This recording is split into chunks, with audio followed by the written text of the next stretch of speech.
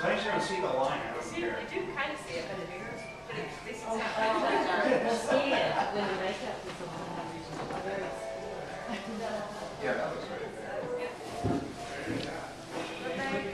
But it's been a ton of fun, and tonight it's going to be so relaxing because it's going to be what it's going to be, and the audience is going to love it and encourage them. I know because of what they're doing. So it's just been. Don't want to be influenced being a judge at all. Who are you to see? Julia Child. Karen, how are you? Hi. Character, actually. Ooh, I'm gonna be making a peanut butter and jelly sandwich.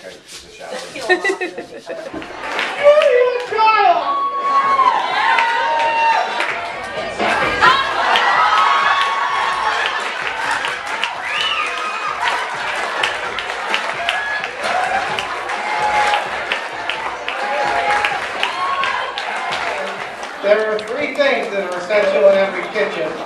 Peanut butter, a full glass of wine, and knives, and knowing how to sharpen them.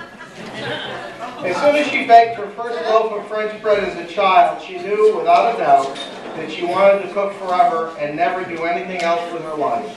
As a result, she has single-handedly changed the way we think about food in this country. She also says, the single-handed part of the story was not in the plan, but those sharp knives and full glasses took off two of her fingers. Please welcome to the stage, Miss Julia Child.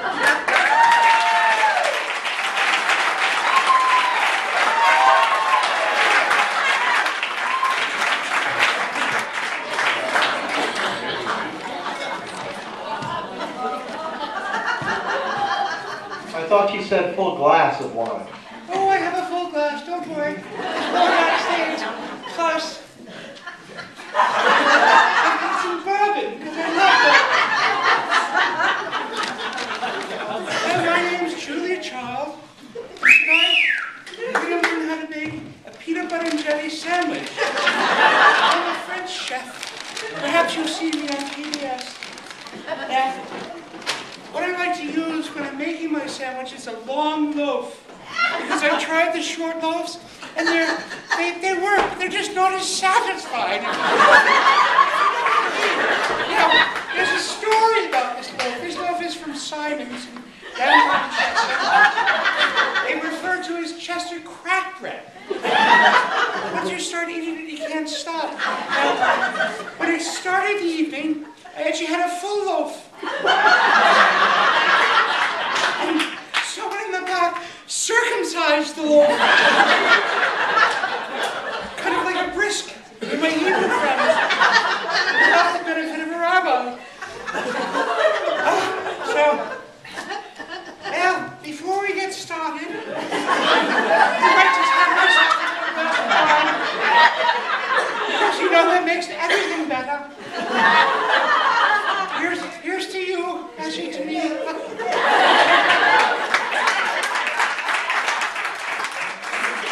Actually, that's, that's rather good. I think I might have another one. oh, and I've got the bourbon too. Yeehaw!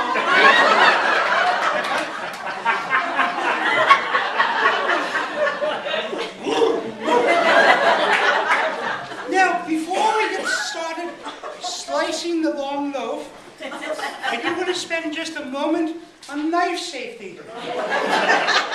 Knives can be very sharp and they can be very dangerous. I actually took two fingers off a little while ago and it hurt like the dickens. so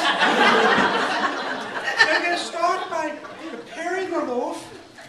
I'm going to be very careful and cut this down the middle. It's like boning a chicken, if you know what I mean. One thing I always want to remind you of is when you're boning a chicken, make sure that you keep the livers. Because you can put them on a cracker and they coagulate lovely. So now, so now we have the whole large.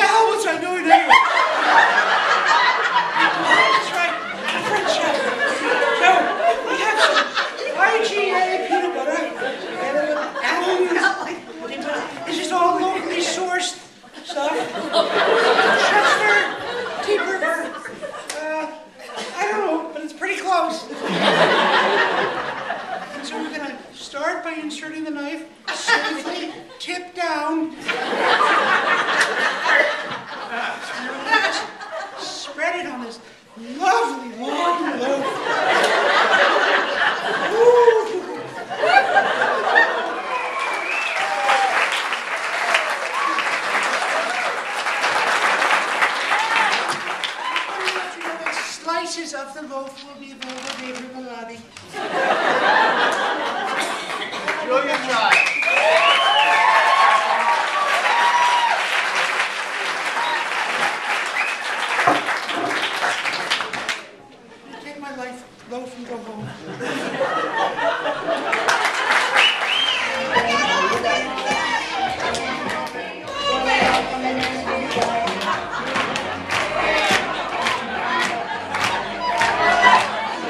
Ball loons? No, ball. yeah, good ball.